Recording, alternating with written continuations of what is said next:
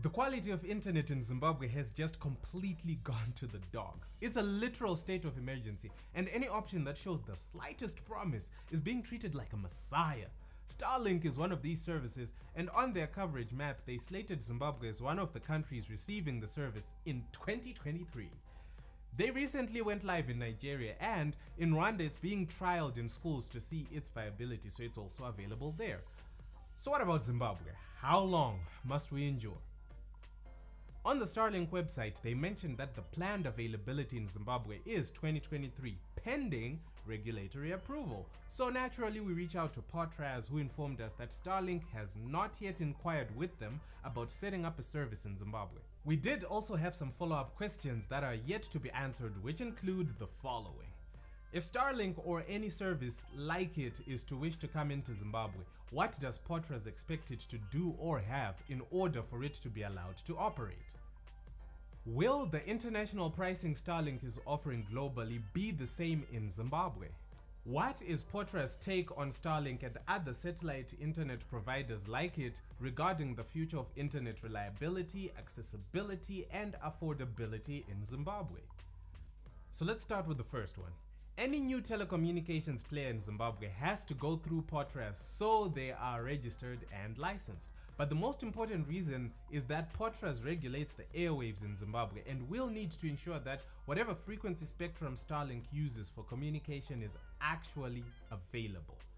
Starlink uses the 10.7 to 12.7 GHz bands for its communication, which according to the Zimbabwe National Frequency Allocation Plan falls neatly under the spectrum allocated for fixed satellite services.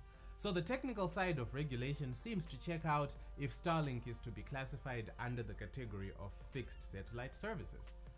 The only thing left will be an operating license which for VSAT services will look like this. Then the second question. So Starlink in Nigeria has assumed its fees in Nigeria's local currency, but interestingly enough, there are some currency conversion issues in Nigeria that seem very similar to those in Zimbabwe. There is an internationally recognized exchange rate of 1 US dollar to 460 naira. However, just like in Zimbabwe, they have local currency cards that do not do online payments and USD prepay cards that are able to make online payments. And when you use these, the rate almost doubles to 740 naira for every US dollar. So if Starlink maintains offering their service in US dollars, then the listed price of their service will be roughly what we can expect to fork out. But if they start listing the price in local currency, then it can swing either way. And usually the way where we end up paying more is where things will swing. The official pricing for Nigeria is 599 US dollars for the kit and 43 US dollars for the monthly subscription fee. This is not universal though, as Zimbabwean Contact informed us that the total cost to get the kit to their doorstep set them back around 700 US dollars. And in America, monthly subs are 110 US dollars. So depending on your region, the pricing might be slightly different. Then we move on to question 3. The internet situation in Zimbabwe is dreadful at best. The number of fault-based and performance-based internet outages Zimbabwe has experienced in the last three years alone has been frustrating. We talk about new players changing the space and making our internet more reliable, faster and cheaper, but we also need to look at the infrastructure. If a new MNO or ISP enters the space, they are using the same infrastructure as the already existing players and serving the same customer. So fundamentally, they will experience the same challenges that existing players are facing and their service will just end up being as bad. Starlink is very different from these at an infrastructure level. They have orbiting satellites that are of a different technology to those used by VSAT providers. VSAT makes use of geosatellites or geostationary satellites, meaning these satellites are matching the rotation of the Earth such that if we could see it, it would be as if it's just standing still up there above us in the sky. And they're also 35,785 kilometers above the Earth's surface. Starlink is using LEO or low Earth orbiting satellites and these are constantly moving and are 550 kilometers above the Earth's surface. So, similar but not the same in terms of technology. However, Starlink is for the most part not relying on infrastructure that can be affected by power outages, fuel shortages, vandalism, or a farmer plowing a bit too deep. So, on the infrastructure end, Starlink should be more reliable than our current fixed internet providers, simply looking at its infrastructure being immune to a majority of the issues associated with terrestrial fiber and microwave radio links. Which leaves VSAT. VSAT has two fundamental issues associated with its altitude. The first is latency or the time it takes for information to travel from source to destination.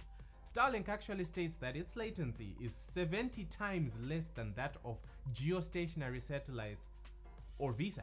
Also, VSAT is more susceptible to weather than Starlink is, so Starlink is more reliable. Accessibility will also be a lot better. A number of new suburbs are not yet serviced with fixed internet, and so you have to go on a waitlist and pray that the service providers deem you worthy. An example is Hayden Park, a suburb right next to the new Parliament building, which at the moment only has a choice of TelOne fiber and Liquid Homes Wibronics. Starlink will work anywhere. All you need is a clear view of the sky and money for the kit and subscriptions. So again, accessibility? Check. Then comes affordability. The price of entry is definitely steep. Officially, it's 600 US dollars for just the kit, then subs can be anything from 43 US dollars in Nigeria to 110 US dollars in the USA for the residential package.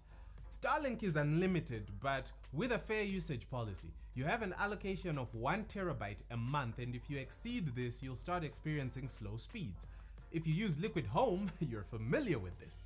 What makes it all worth it is that the max speeds available are 250 megabits per second download and 50 megabits per second upload.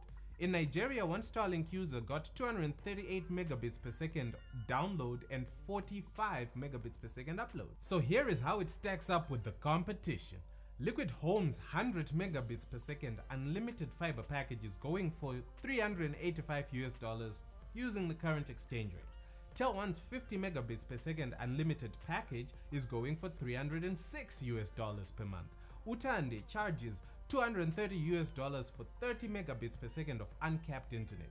If you ignore the eye-watering price of the kit, Starlink is much cheaper than the best of the best we can get locally whilst also promising speeds we have not experienced yet in these parts. Once you get past the cost of acquiring, it's actually solid value.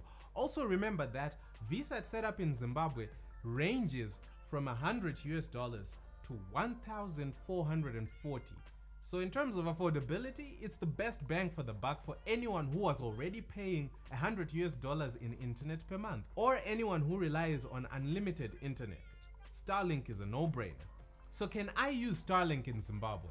Officially, Starlink is not yet available in Zimbabwe, but is said to be coming in 2023. So officially, if you are able to buy the kit, it will not work in Zimbabwe. That said, we have unconfirmed reports of some Starlink users in Zimbabwe who have successfully been able to use the service.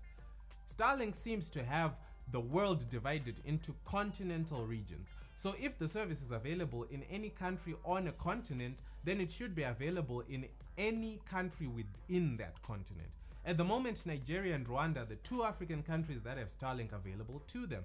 And according to the Starlink website, regulatory approval is what is stopping it from officially making a presence in Zimbabwe. So technically, it should work here. Starlink also announced global roaming. To be able to use this feature, you actually need to buy new equipment from Starlink, specifically supporting global roaming. And that feature will also cost you $200 per month to use. Such a service will provide Zimbabweans with unofficial access to Starlink in Zimbabwe, but that is not guaranteed. A more sensible hack is buying a Starlink kit destined for Nigeria or Rwanda, initially setting up with a Nigerian or Rwandan address physically in Rwanda or Nigeria, then paying an additional US $25 a month for mobility, which allows you to use the service anywhere in Africa. So mobility only works on the same continent of the address used to order it and set it up. Yes, there will be a slight logistical hurdle of physically setting it up in a country where the service is available first before bringing it here. But if you can, then this is another possible way of using Starlink in Zimbabwe. But I will stress, it's not a guaranteed method.